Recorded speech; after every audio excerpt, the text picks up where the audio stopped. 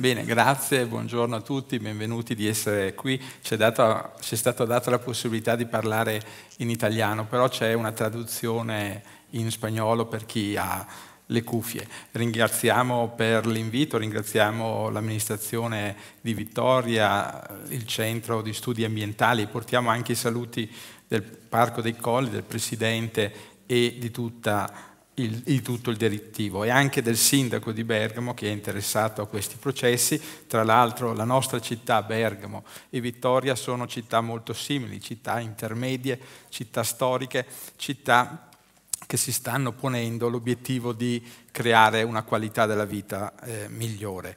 In effetti l'anno scorso, quando con l'amico Morris Lorenzi siamo venuti a Vittoria, eh, siamo rimasti stupiti dalla ricchezza, dalla struttura e l'infrastruttura ambientale e quindi abbiamo imparato molto. Spero che oggi raccontandovi l'esperienza del Parco dei Colli anche per voi ci sia la possibilità di arricchire la vostra esperienza. Nel mio titolo io ho aggiunto un sottotitolo, non solo dal Parco dei Colli alla nuova corona verde agricola, ma tra connettività ecologica e coesione sociale.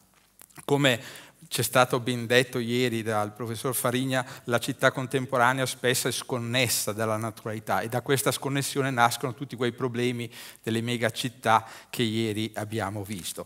Ma non è sempre stato così, e soprattutto in Europa, soprattutto per le città storiche, soprattutto per le città quali quelle italiane. Questa è la piazza vecchia, la piazza della nostra città, una delle città storiche, una delle piazze forse più belle d'Italia. Come voi ben sapete, la città città storica italiana non ha solo generato palazzi, monumenti, ma anche specifici sistemi rurali, che tante volte sono stati richiamati sia nell'introduzione che ieri. Però quello che voglio sottolineare è che le città avevano una forte specificità da un punto di vista di sistemi agricoli e rurali di grande valore identitario, di grande naturalità, ma che era diverso da quella del contado. Tante volte nelle immagini del buon governo vediamo il contado, ma la città e il suo suburbio avevano paesaggi rurali fortemente specifici. E in questa ricostruzione, in questo guardare indietro per creare una realtà prossima avventura migliore, si possono avere nuovi percorsi progettuali, nuove visioni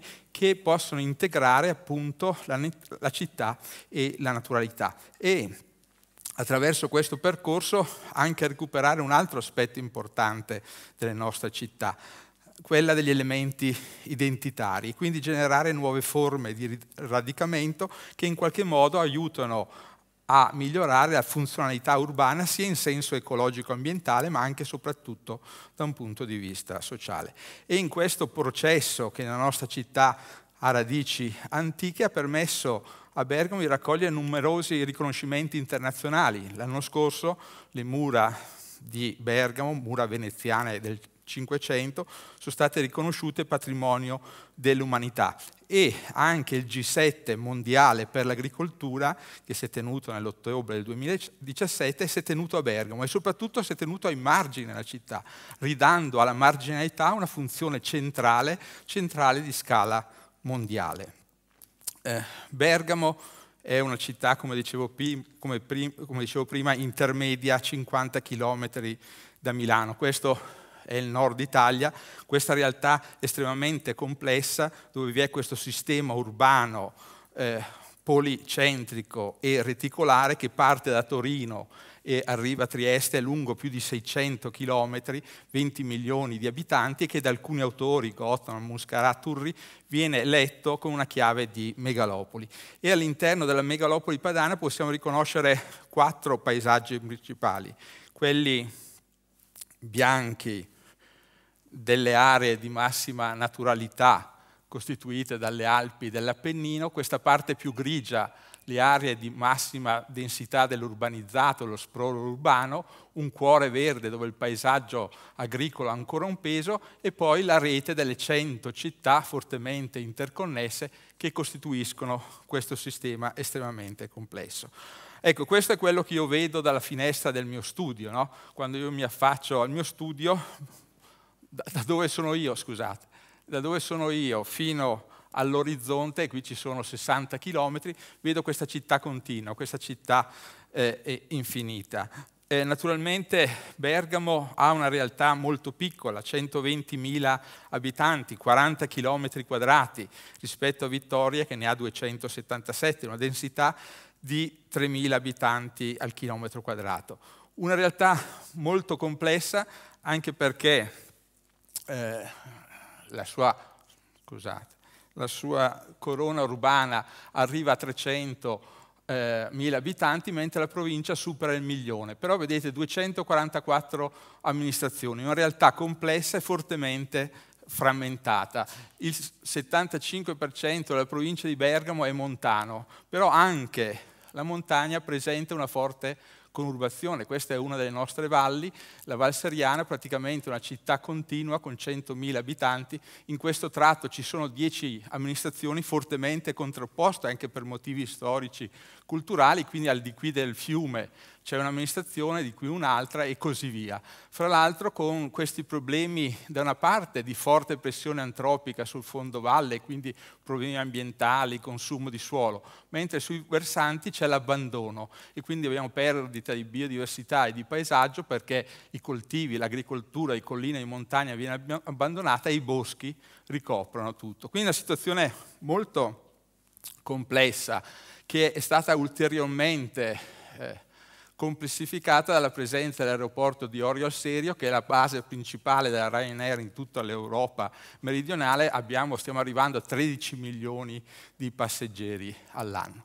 Questo è quello che vedo da, dall'altra mia finestra, da una parte quello che ho visto prima è questo. Bergamo è una città d'altura che, come dicevo prima, ha generato uno specifico eh, sistema eh, rurale che ci impone una, un minimo di lettura della storia della città per capire le sfide, i problemi e come sono stati affrontati. Bergamo è divisa in tre piani e in tre parti. Le tre parti sono il centro storico, i borghi e i corpi santi. I corpi santi sono quel suburbio che noi oggi chiamiamo periferia e che raramente viene letto nelle sue valenze paesistiche e storiche, ma che invece è sempre stato parte della città per la città con una cultura urbana, una cultura urbana nell'edificato, nelle coltivazioni, eccetera. Bergamo tripartita ha una pianta palmare, cioè fatta come una, una mano, e la parte centrale è città alta, le dita sono i borghi e tra un dito e l'altro queste conche rurali, non costruite, che si articolavano intorno a un monastero. Questo è il monastero di Astino negli anni 90, una di queste conche rurali, abbandonato, vedete anche i coltivi che non sono più coltivati, il bosco avanza o al massimo c'è un'agricoltura di tipo intensivo. Ma questo non duemila anni fa, negli anni 90, la situazione che avevamo. Queste conche, scusate, bevo un goccio d'acqua, queste conche erano, erano storicamente finalizzate alla coltivazione dell'olivo e della vite. La piccola glaciazione del Settecento ha tolto la presenza, la crisi climatica della piccola glaciazione del Settecento, ha tolto gli olivi, mentre i vigneti hanno una presenza plurimillenaria e la città generava questa concentrazione molto elevata di vigneti perché il vigneto aveva una grossa ritorno economico, aveva bisogno di grossi investimenti e soprattutto le acque in città non erano sicure. Si prendeva il colera, il tifo, bere il vino, il vino era alimento ma era bevanda anche per i bambini, non vino forte come quello di oggi, con gradazioni minori ma dava la sicurezza di non avere. La città per produrre vigneti si è fortemente terrazzata, qui vediamo i terrazzamenti, e soprattutto per i vigneti aveva bisogno della paleria, quindi le città generavano al loro interno dei boschi storici. I boschi storici che davano erano polifunzionali, non davano solo il legname per sorreggere la vigna, ma erano anche fonte di legname da opera, area di caccia. La città in questi boschi cavava le pietre per la propria costruzione e nel bosco si proteggevano le sorgenti che alimentavano la città. Nelle parti più vicine alla città le coltivazioni orticole. Questo è il quadro della città di Bergamo nel Settecento, il polso, le dita e all'interno tutte queste conche rurali, dove non c'era certo bisogno né di infrastrutture ambientali né di anello verde, ma l'integrazione fra spazi aperti, costruito, fra verde, fra naturalità, era pressoché completo. Bergamo ha avuto un grandissimo trauma urbano. Quando Bergamo passa sotto Venezia nel 400, Venezia, in accordo con la città di Bergamo, protegge la città e costruisce le mura quattrocentesche, quelle che vedete qui, intorno alla città. Ma il secolo successivo sono necessarie nuove cinte murarie per l'introduzione delle armi da fuoco. E questa volta eh, Venezia si comporta in modo irrazionale, invece di proteggere la mano, fa passare le mura sul corpo della città, cioè distrugge la città. Qui vedete in questo stampo la città sottostante e la cinta delle mura eh, cinquecentesche, il 10% degli abitanti hanno perso la casa. Sono state distrutte decine di conventi, chiese, anche la cattedrale, dove aveva la cattedra del vescovo, viene azzerata. Ogni chiesa è una scomunica, i progettisti accumulano decine di scomuniche, ma avanzano in questa distruzione della città. Qui vedete la città prima, qui la città dopo. Le relazioni con i borghi vengono eh, lacerate e Bergamo diventa da città fortificata città fortezza, una città che è cinta da una corona di verde che è il verde della città perduta, non della città non costruita, dove è vietato costruire e anche coltivare, perché ci deve essere il vuoto, in modo che il nemico si avvicini. La situazione cambia nel Settecento, quando viene meno la servitù militare, col periodo napoleonico le mura vengono alberate e questa struttura, questa macchina di guerra diventa spazio alberato di uso eh, pubblico. E non solo si albera le mura, ma il vuoto urbano sottostante viene trasformato in giardini e in orti. E quindi là dove c'è la città, oggi c'è il verde, che di solito invece è l'opposto. E questo rafforzamento del verde sia sulle mura che sotto le mura crea un'icona che tutti i viaggiatori che vedono Bergamo da, dal 500 in poi riconoscono questa collana verde interna alla città come uno degli elementi distintivi. C'è un momento, e qui inizia quello che porta agli esiti attuali. No?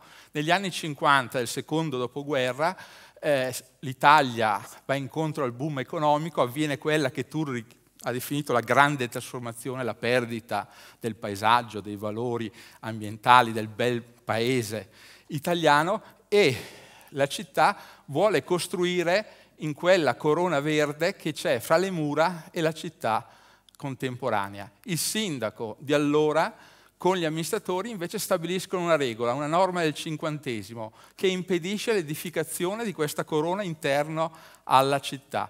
Naturalmente non si può vietare di costruire, ma con questa norma del cinquantesimo è una norma che dice puoi costruire se hai 50 volte di più la superficie che vuoi realizzare. Siccome pochissimi avevano queste quantità, si mantiene la collana verde.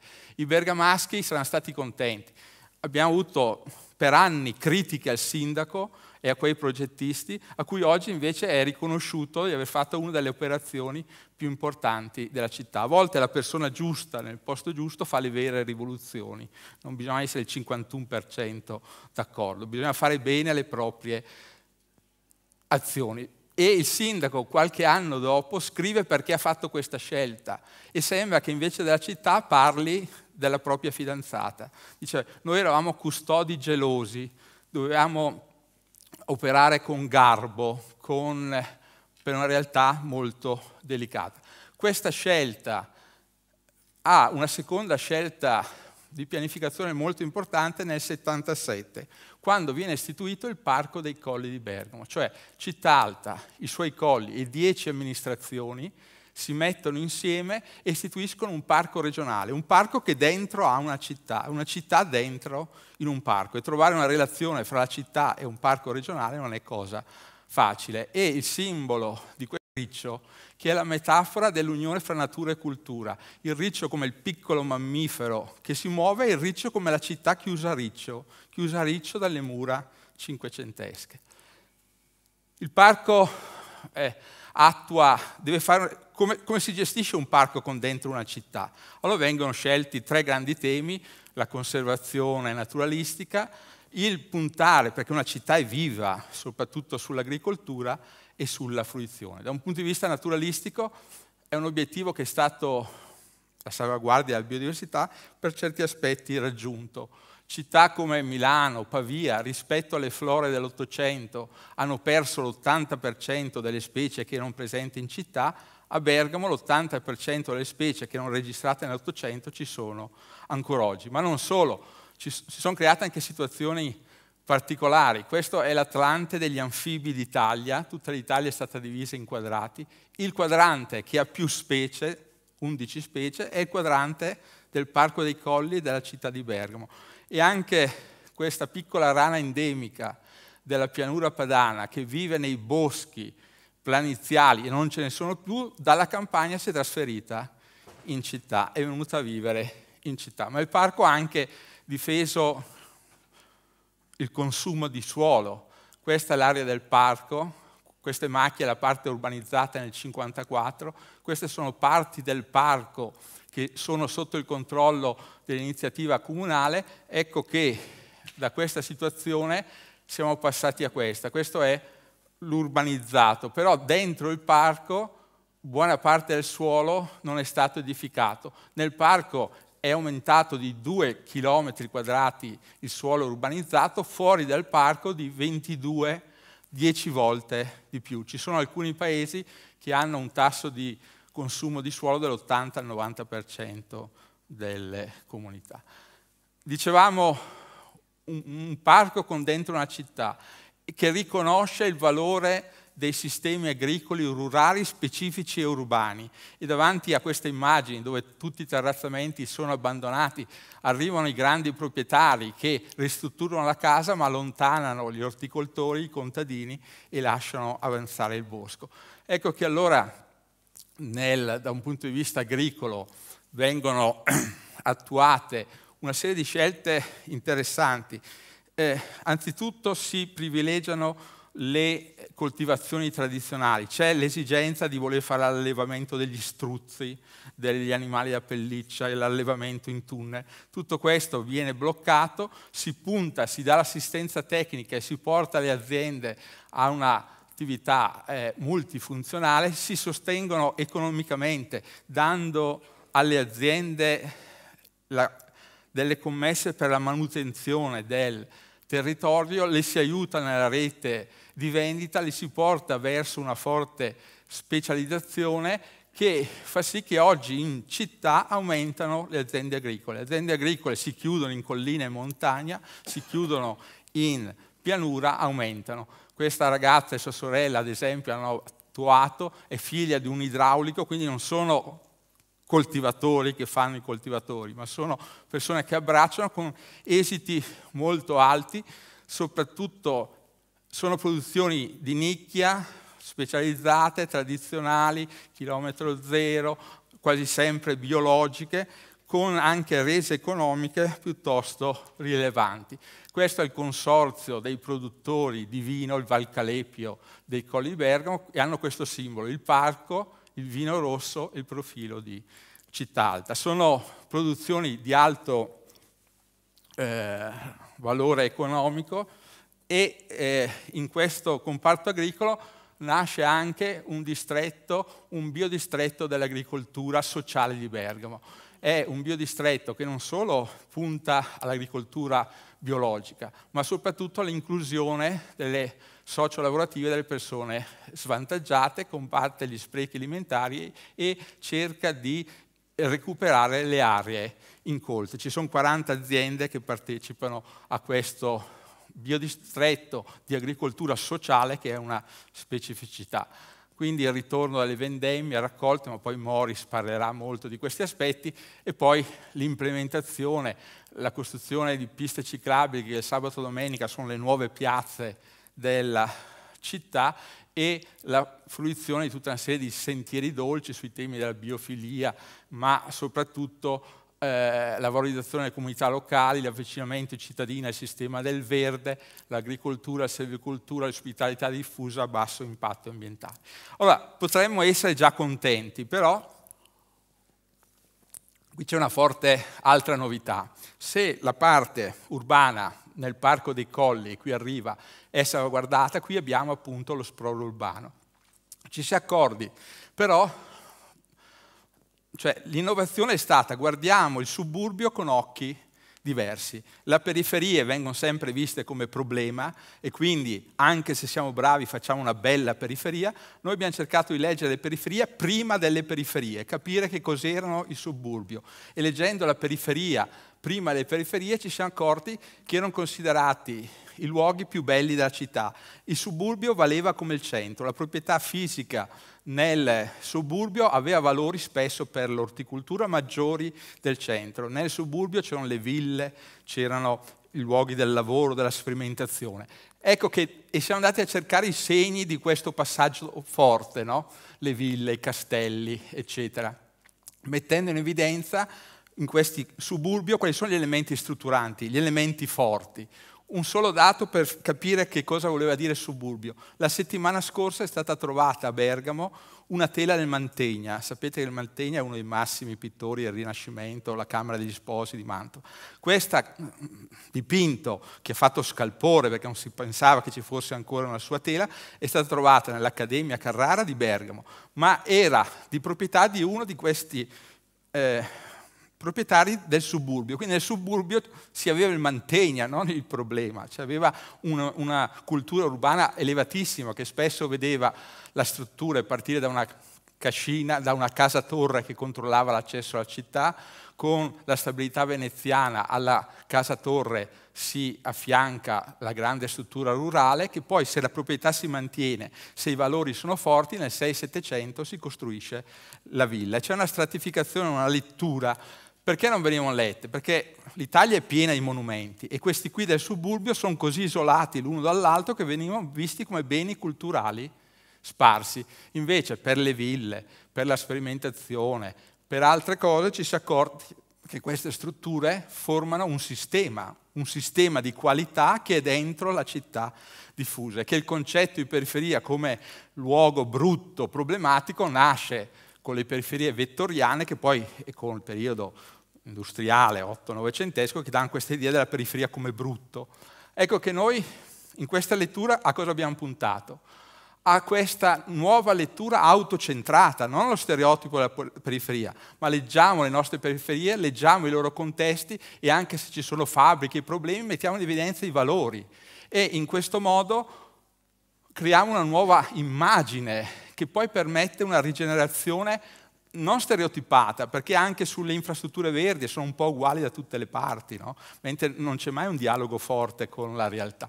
E ecco che uno di questi margini, la conca di Astino, quella che abbiamo visto all'inizio, è stata risignificata, non solo è stata risignificata, ma il, sono ritornate sia le culture che le culture. Il, il, monastero che era abbandonato è diventato di nuovo un centro culturale, ci sarà anche una scuola di alta cucina, sono ritornate le culture orticole, fruttifere, il, il, vino biologico e il bosco storico è diventato sito di interesse comunitario. Questo margine dove nessuno andava è diventata la sede del G7, che non è andato in Piazza Vecchia, è venuto in una periferia che ha trovato.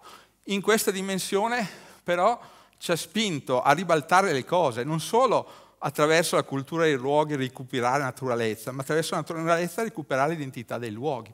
E allora mh, mm, anche il percorso eh, di lettura all'interno, ad esempio, il sostegno della candidatura a Bergamo, che è capofila di una proposta riconoscente UNESCO che partiva da Bergamo e attraverso le città murate veneziane del 5-600 arriva fino al Montenegro e quindi un sito transnazionale che mette insieme il Montenegro e la Croazia che fino a ieri si sono guardati in cagnesco, l'Italia col Montenegro e con la Croazia che nella seconda guerra mondiale erano nemici, questo, eh, questa questo percorso però non è stato fatto come al solito in modo molto museale, ma per farvi capire che la comunità sente e vede, vede anche le mura come parte del proprio spazio sociale, è stata fatta questa provocazione.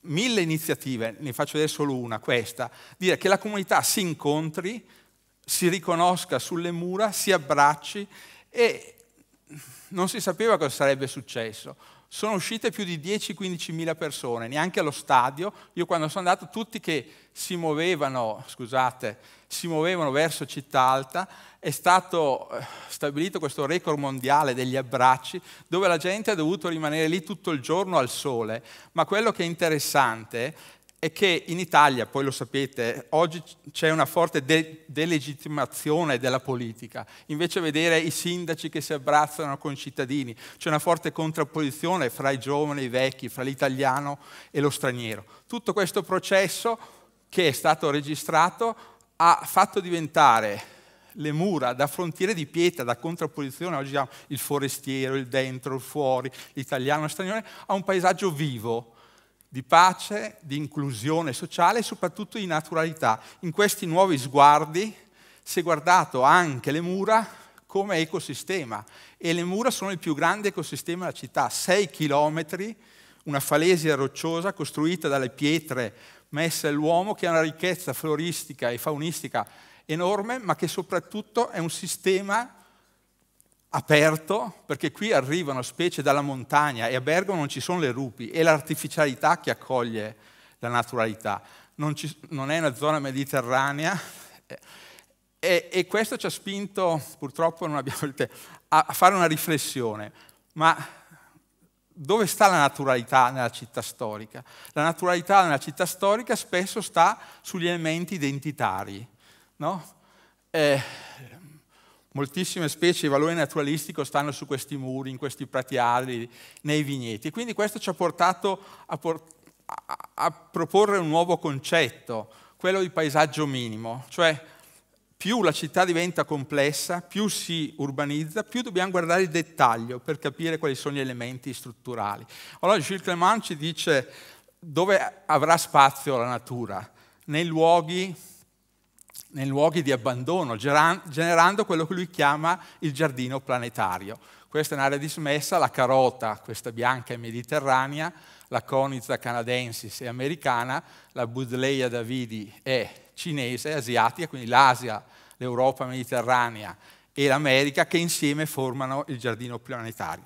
Noi invece diciamo è importante, sono importanti questi spazi, ma nella città è importante anche salvaguardare l'identità, i valori naturalistici e le specificità. Anche le città sono sempre più omologate, c'è un'entropia nei loro aspetti. E ci siamo accorti che ci sono questi elementi che noi chiamiamo paesaggi minimi che ci raccontano dei materiali locali, un muro nella pianura intermedia ha il sasso e il mattone, se andiamo nell'alta pianura ha solo il sasso, se andiamo nella bassa solo il mattone. Allora c'è una serie di materiali, ma anche negli spazi aperti, adesso per motivi di spazio cerco di andare a, con- a chiudere in questi paesaggi minimi l'insegnamento non è anche qui voler costruire quello che non si fa più, ma capire una metafora, perché un paesaggio minimo è un paesaggio a compartecipazione uomo-natura, cioè un paesaggio minimo nasce dal fondersi, dal confondersi della razionalità progettuale umana con l'azione dell'uomo.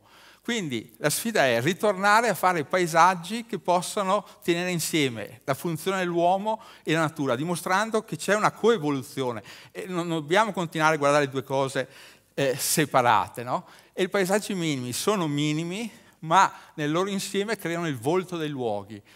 A Bergamo non è stata, costru- eh, non è stata edificata questa parte interna della città con tutti i suoi paesaggi minimi, però si è mantenuto lo spazio libero, ma non riconoscendo allora i paesaggi minimi dei terrazzamenti, delle siepi, eccetera, questa realtà è diventata così.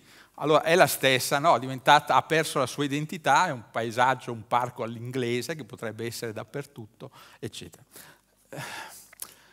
Se mi ha proprio un minuto. Eh, ci sono tutta una serie di, di aspetti, ne, ne, leggo solo un paio prima di andare all'ultima diapositiva. che il terzo paesaggio ha vita breve, mentre il paesaggio minimo ha vita lunga. Il, paesa- il terzo paesaggio di Gilles Clément che è importante, però è il luogo dove natura si contamina, si mescola, è il luogo dell'evoluzione, mentre i paesaggi minimi sono il territorio dell'eccellenza, della specificità culturale e naturale del luogo. E Gilles Clément ci dice che il terzo paesaggio, scusate, persegue l'invenzione, invece il paesaggio minimo è animato dal principio di accumulazione, accumula i valori storico-paesistici, quelli identitari, quelli naturalistici. Sono importanti entrambi. Gilles Clement dice il terzo paesaggio è la parte del nostro spazio di vita affidato all'inconscio, abbiamo bisogno dell'inconscio, abbiamo bisogno che la natura possa in modo autonomo evolvere. Il paesaggio minimo invece è la parte del nostro spazio in cui si è sedimentata la sapienza e la conoscenza locale, quella che si può chiamare razionalità territorializzante. Il terzo paesaggio persegue la creazione, dove la natura evolve, crea, fa. Un paesaggio minimo invece persegue la comprensione, dove comprendere vuol dire mettere insieme tante cose. Tutto questo, e questa è davvero la penultima, per dire che cosa? Che quando guardiamo naturalità città, dobbiamo, soprattutto per le città europee o quelle italiane in particolare, capire che il processo è di coevoluzione, non c'è una contrapposizione. E questo grafico che fa vedere la diversità floristica e quindi la biodiversità in, una realtà dell'Europa centrale, in funzione del tempo, si vede che nella dal paleolitico al neolitico la biodiversità, il paesaggio è aumentato, poi successivamente poi arriviamo a questa soglia dove si cade e noi siamo qui, stiamo perdendo da una parte, come sul fondo valle, la biodiversità, il paesaggio, l'identità per la, per la potenza e la prepotenza dell'uomo. Dall'altra parte, sui versanti in collina, perdiamo la biodiversità, l'identità e il paesaggio perché viene meno l'azione dell'uomo. Quindi dobbiamo ritornare a costruire con questa grande capacità e far riemergere quello che Gambino diceva che nella rinaturalizzazione della città non è solo importante dare più verde, ma accettare la sfida di riportare la natura in città, restituendole la pienezza di quel significato ecologico, storico e culturale che traspare vivamente dall'iconografia storica. Non è che dobbiamo fare la città storica, dobbiamo a quella sfida attualizzarla. Bergamo sta facendo questo, se riuscirà, oltre il Parco ai Colli, Corpi Santi, la periferia, a chiudere il cerchio, allora questo anello verde di Bergamo farà sì che la città contemporanea si fonda con la città storica, generando una città verde, una città del paesaggio, dove sia facile radicarsi, vivere e anche produrre, perché la città è il luogo della crescita, dell'evoluzione della produzione. Grazie.